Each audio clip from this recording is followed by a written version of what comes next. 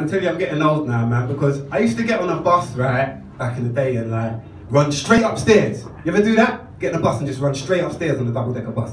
Now I get on the double decker bus and I'm like, shit. I just go straight to the back of the bus, like on, on the lower deck. No running upstairs, straight to the back of the bus. Yeah, and I sit at the back of the bus and I think to myself, shit, have I made a mistake? I need to be sitting at the front. What did Rosa Parks fight all these years for? Need to be, maybe sitting at the front. At least do that. I know you're getting old now, but at least do that. Fucked up, right?